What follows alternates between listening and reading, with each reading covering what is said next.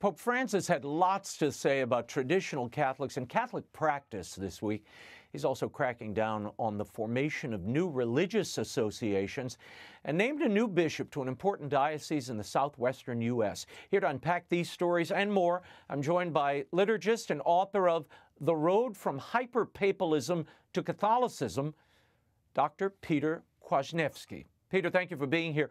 While there is much talk of accompaniment and inclusiveness from the Pope, um, this is what he said about traditional Catholics before a group of Jesuit editors. We'll put it up on the screen.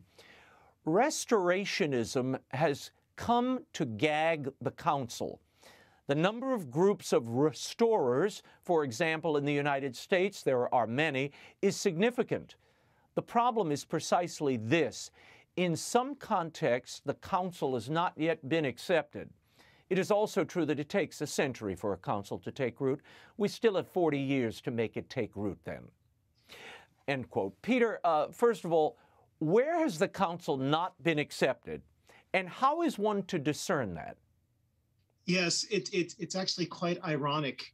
Whenever you hear someone of Pope Francis's generation or, uh, or, or disposition talk about not accepting the council, uh, you have to ask them, you know, do they accept the council? I mean, after all, uh, Sacrosanctum Concilium said Latin should be retained.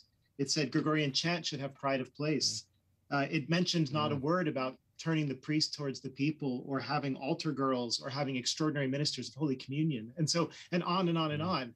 So, in fact, the Second Vatican Council is not being implemented precisely by the people who are claiming that the traditional Catholics are not following the Second Vatican Council. So there's a there's a game going on here of who gets to to claim Vatican II. Um, it just goes back to what Benedict XVI said about the hermeneutic of rupture and the hermeneutic of continuity. Yeah, no, that's a that's a, a crucial point, uh, Peter. I've always said, uh, you know, a Latin mass where the uh, the gospel is proclaimed in English and the homily is in English, that is closer to the vision of the Second Vatican Council, where the people are active and responding, than many things that we claim, some claim, are the fulfillment of the council vision. Talk to me about this labeling traditional Catholics as restorers.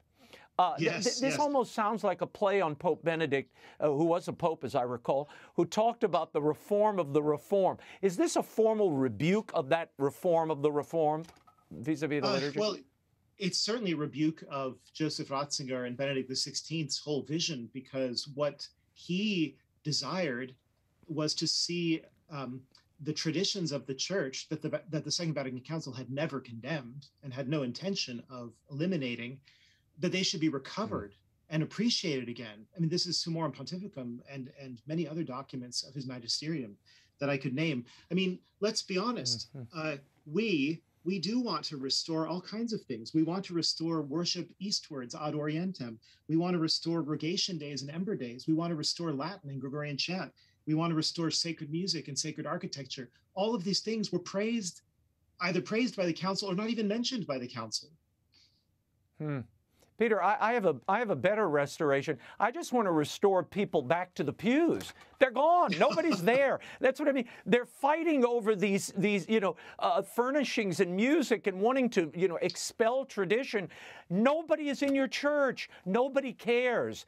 And and I think they've failed to get the wake up call here. That you know they're talking to themselves and suddenly look yes. out and there's no one there but a few acolytes who you know are, are, are applauding for them, which raises an interesting question.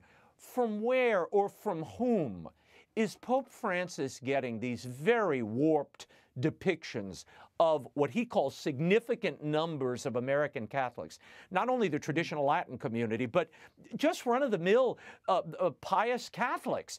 I mean, he, he, often very pointedly singles out the United States when making these observations. Mm-hmm, mm-hmm.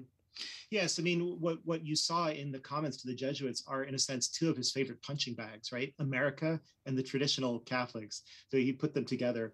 Um, no, I, I mean, I think I think the problem is, frankly, that uh, for for Pope Francis and for many people of of his way of thinking, um, the Second Vatican Council became this kind of super dogma or the only council. And it wasn't even the council, but the spirit of the council, all that it represented mm. to them, all that it meant, this liberation from the past, this rethinking and even rejection of tradition. Um, that's what it represents. When they talk about Vatican II, they don't mean really the 16 documents of the council. They mean this spirit that mm. was unleashed by it, this almost uh, Shiva like spirit of destruction um, and, and uh, and renovation, recovation. Um, and so if you have, let's say, a, a family of homeschooling Catholics in America who attend the Novus Ordo, but they homeschool their children with the Baltimore Catechism, he's talking about those people too. I mean, what, what they're doing is wrong in his sight because it suggests that there was a Catholic Church prior to 1962 that there was um, hmm. you know solid dogma and, and and faith and morals and devotions and so on prior to the council that were good and holy and legitimate and that we can keep them right yeah, well, I, you know, uh, it, it, pains me the Pope, A, hasn't visited the United States more. I mean, he's only been here one time for six days in his entire life um, that, that deprives you of a certain sensibility and sensitivity to the people there. I mean, it's like me trying to pontificate on, you know, what happens in Mozambique. I, I, I, I, have never been there. Uh, he also sees this moment in the church when you read that, uh, his little uh, fervorino to the Jesuit editors. He reads this moment in the church and I think casts himself as Jesuit Superior Pedro Arrupe, who was the uh, superior of the Jesuit order just after the council, this was a man, incidentally, who was reprimanded not only by John Paul II, who almost suppressed the order, but Paul VI himself, who last time I checked was the man who, who uh, affirmed the council.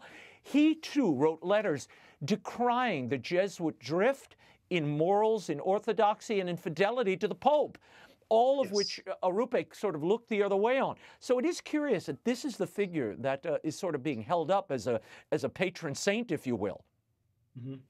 Yeah, I, I, I quite agree. I mean, the Jesuits suffered a catastrophic decline uh, in their numbers, in their morale, in their in their theology. I mean, they became infested with with modernism, uh, and this is exactly the point that you're that you're making. I mean, what what what we're unfortunately, I think what you see is. Um, you know there's there's the view of the council that it was supposed to modernize the catholic church bring it into line with with contemporary western society um, in a certain sense that just became secularizing the church. And that's what happened to the jesuits. They they became involved in liberation mm. theology for example and started to mingle marxism and christianity.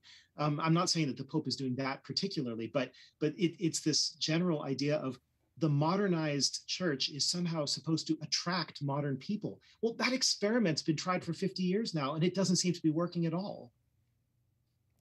Yeah. I, I don't know when when does the experiment end? When there's no one left listening? I mean, that's that's my. I just look at it. It's just like an audience, you know. If I did if I did this show every week and no one showed up, at what point do you stop broadcasting? I mean, you know, and if there was no one there, I just wouldn't do this. I don't need to keep doing this. And I and I, I feel the same way. This is your job. You have one job: just protect this doctrine and extend it, broadcast it let other people know about it because it is uh, if, if it is what you claim it is the hope of the world and the salvation of mankind that's kind of a big marching order. I, I want to move on we're almost out of time. In addition to negatively labeling some catholics restorers pope francis recently commented to priests and bishops in sicily that he had seen pictures of some of them celebrating mass in lace vestments. And he said where are we? 60 years after the council some updating is needed, even in liturgical art and liturgical fashion. Yes, sometimes bringing some of grandma's lace goes. It's to pay homage to grandma, right? It's good to pay homage to grandma, but it's better to celebrate the mother, the Holy Mother Church, and do so how Mother Church wants to be celebrated. End quote. Peter, um, this is what, what, what is he trying to say there? Well, I mean, it, it's. I mean, apart from the the problems of coherence in what he's saying, I mean, the most basic problem there is that Vatican II and the rubrics of the of the of the liturgy say nothing about the styles of vestments, whether it's Roman or Gothic, whether you have a plain alb or a lace alb. It's as if he's thinking that Vatican II has outlawed anything that was characteristic of the church prior to the Second Vatican Council. He's not getting that from the council. He's not getting it from the Novus Ordo's uh, rubrics, right? Um, I mean, that's that, that, that, There's a there's a kind of um, um, obsession there, and it's ironic that uh, Saint Francis, whom he took as his patron saint, uh, is the patron saint of lace makers because Francis wore a lace alb, and we actually have his lace alb in a museum. That's right. That's I'd forgotten that. This is the I, I totally forgotten that, but I didn't know he was a patron saint of lace makers. That's fascinating. It's curious that while Rome laments tradition, Peter, and order, what I imagine they consider the embrace of the council liturgically is happening all over the world. I mean, this is a liturgy in San Diego. It appears a woman is playing uh, the role of the deacon, a deaconess, and that, that behind her is soon to be Cardinal McElroy presiding there. And here is an example of what passes for a guitar mass in Illinois. Now, I, I will note that uh, no one is cracking down on these liturgical displays, Peter, and it is this uh, embrace of uh, their imagining of the council that's brought us to this point. And here's Germany, home of the synodal way. Look at this clown mass, full on clown mass. I'm not sure what the rubrics say about a priest processing up and down the aisles on a hoverboard, but that doesn't seem to matter to this priest. And here is a post council Pentecost Sunday Mass in a Chicago parish, complete with bubbles. Peter, your reaction to this uh, uh America's Got No Talent lunacy. Is this the Mass the Vatican Council envisioned? And does this inspire unity or draw new young vibrancy to the church? No, no, of course not. I mean, most, if you look at these videos, most of the people attending are what you could call aging hippies. Um, but even, even apart from that, Vatican II said, and I quote, no innovations should be introduced unless the good of the church genuinely and certainly requires them.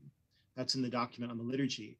Um, clear, clearly, when when Pope Francis and Pope John Paul II, Pope Benedict, they've all lamented and they've wrung their hands about abuses in the Novus Ordo, but they've actually taken almost no steps to correct any of these abuses. All of these things are contrary to the rubrics, and they're also just contrary to good mm. taste and to sanity and to Catholic sensibilities.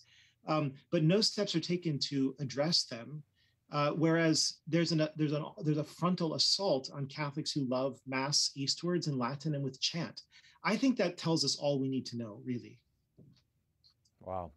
You know, you know, Peter. Uh, I was uh, I'm I'm in New York, and I was thinking the other day, if someone showed up and staged Bohème at the Metropolitan Opera House and attempted to slip in some Celine Dion or rap in the middle of the show, uh, P- people would rend their garments, throw their tickets down, and storm out. There'd be an outcry. Yet this is what happens at masses all over the world. The, the, the, the rules, the established protocols, the form of it is totally distorted. Nobody says anything. And then you have people who are adhering to the tradition, delivering the expected, the body of Christ, nothing small there, and yet uh, they are persecuted. It makes very little sense to me. But the, the, the worst part of all are the the conservative priests who are neither celebrating the traditional Latin Mass nor the clown Mass, but are just trying to follow the simple rubrics that, that they're given in the book. And they're trying to do it in the, right. with the mentality of Vatican II. And, th- and those people are also being attacked now by bishops and cardinals. I want to move on to some news made by Cardinal elect Arthur Roche. He's the prefect of the Dicastery of Divine Worship. This is the liturgy office at the Holy See. And he's reflecting on the state of the liturgy and sacraments and the Pope's restrictions of the Latin Mass. Listen to this. So, all that is taking place is the regulation of the former liturgy of 1962 Missal by uh, stopping the, the promotion of that because it was clear that the council, the bishops of the council, under the inspiration of the Holy Spirit, were putting forward a new liturgy for the vital life of the church, for its vitality, and that's really very important. And to resist that is, is something that is really quite serious too. Your thoughts on the words of uh, Cardinal elect Roche there? Yes. Yeah, well, you know, the, the funny thing is that whenever people attribute, first of all, they attribute all of the work of the Second Vatican Council to the Holy Spirit, which is not technically what anybody has ever claimed about an ecumenical council. We certainly invoke the Holy Spirit for guidance, uh, but the liturgical reform that followed after the council was something different from the Second Vatican Council, and in fact, contrary to it in many ways. All that one has to do is watch you know episode two of the mass of the ages to get the story about that. It just appeared a month ago. Um, and so it, in point of fact what what archbishop roche is not acknowledging is that everyone in the history of the church saw the 2000 year organic development of the catholic liturgy as the work of the holy spirit. Is that all suddenly not the work of the holy spirit? Is, is the holy spirit only working now uh, and, and in the rejection of what the holy spirit used to do? I mean this, this starts to sound very incoherent um, it, it, doesn't make any sense theologically. Hmm. Yeah, well, I mean, we, we know, look, we know there was, the Holy Spirit was operable, and the last two pontificates, John Paul and Benedict, who were actually at the Second Vatican Council, unlike more contemporary figures, they saw what was needed and they moved the church down this path of reform, wheeling, trying to pull back some of these abuses and remind people of that true vision. But now we're back to the spirit of Vatican II, which is basically a do it yourself. It's a do it yourself exactly. liturgy. Yes. In fact, Joseph Ratzinger wrote a letter to Wolfgang Waldstein in 1974. It's been published. I talk about it in, in a number of mm-hmm. places, uh, where he said, Ratzinger said, I was at the council the whole time. I listened to every speech. I've read all of the speeches over again, and I can tell you for sure that what has happened in the liturgy is not what the Council Fathers wanted and what they voted for. Hmm. Anybody reading the documents would know that. In fact, I think I'm going yes. to post them. Next week, I'm going to read chunks of them because I do think people have no, they just have no facility or understanding of it. Nobody reads the Second Vatican Council documents. Let's face it, Peter. Mom and dad are not sitting around. They're trying to make ends meet, and it's lucky if they can drag the kids, get everybody dressed, and make it into church on time. And now we're asking them to become, you know, liturgists and, and Vatican II experts, but we'll do that. For the sake of the, the audience, I'm going to do that. We're going to put excerpts up and maybe have you and others back to explain. But uh, Pope Francis made a significant appointment here in the U.S. recently. He accepted the resignation of Bishop Thomas Olmsted of Phoenix. Um, who really rebuilt that diocese after a very difficult period. Uh, he named auxiliary bishop of San Diego, John Dolan. Now, Dolan's boss, uh, McElroy, was just named a cardinal. What could the appointment of Bishop John Dolan mean to the liturgy in the Diocese of Phoenix in the future? Olmsted really was, a, was somebody who was quite orthodox and saved that diocese after a very traumatic period. Yes, it's true. Bishop Olmsted, I, I always uh, hold him dear in my heart because years and years ago he gave a talk in which he said that uh, we should all kneel for Holy Communion. And then he quoted a desert father who said, The devil has no knees. That's how you can recognize the devil, mm. That he doesn't kneel. Uh, but but in terms of what what this mm. means, I mean, I don't know much about uh, about Bishop Dolan. Um, unfortunately, if he's a protege of of uh, of McElroy, that tells us uh, that could tell us a lot. Um, you know, Bishop McElroy, of course, is somebody who was uh, a collaborator with McCarrick and knew all about the McCarrick situation. And so it's a real slap in the mm. face of Catholics everywhere, especially abused Catholics, that Pope Francis is daring to elevate uh, McElroy to the cardinalate um, you know that's that's a huge mm-hmm. insult. So I, I, think that the the Catholics of Phoenix are are potentially in for a very difficult time, and they're going to need to, uh, to to get down on their knees, use those Christian knees, uh, and and pray and pray for help. Yeah. I, I, want to get your take finally on the Pope's decree issued this week. This is a major story. Uh, it requires written permission of the Vatican before any diocesan bishop can approve the establishment of new religious associations or organizations in the diocese. In the Vatican's words, quote, a public association of the faithful with a view to becoming an institute of consecrated life or a society of apostolic life of diocesan right. Peter, the layman doesn't appreciate the import of this. What does this mean to fledgling religious communities, traditionally yes. traditional ones who are predominantly the only ones being created? Exactly right. As somebody pointed out, uh, do you see new religious communities being formed around guitars and felt banners? No, that, that's not where the vocations are coming. Um, no, this is a huge story. It's huge because um, it's it's part of a pattern in recent years of the Pope on the one hand, talking about the importance of decentralization and synodality, and on the other hand, taking bigger and bigger steps to centralize important decisions in Rome and to take them mm. away from local bishops. Traditionis Custodes, for example, said uh, that it was it was it was doing what it did in the name of giving bishops more freedom over the liturgy, but actually it took away freedoms that they had under Summorum Pontificum, and it only gave them the, the freedom mm. to suppress and to harm.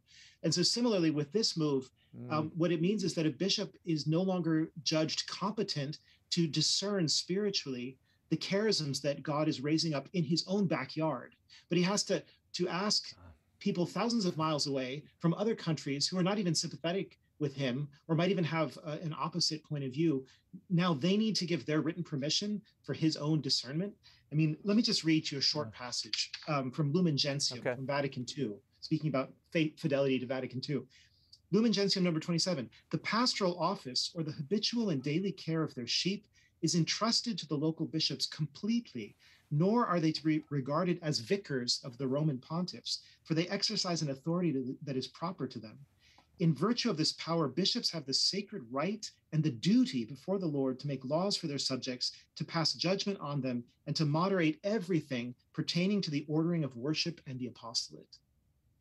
That's hmm. Vatican II, Lumen Gentium, number 27.